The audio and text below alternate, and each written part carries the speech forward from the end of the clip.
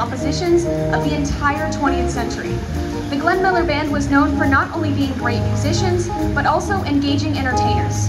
This particular arrangement was written by Jeff Tyzik for Doc Severinsen and The Tonight Show Band and The Johnny Carson Show, featuring Abby on drums, Danik and Caden on saxophone, Owen on alto saxophone, and Savannah on trumpet.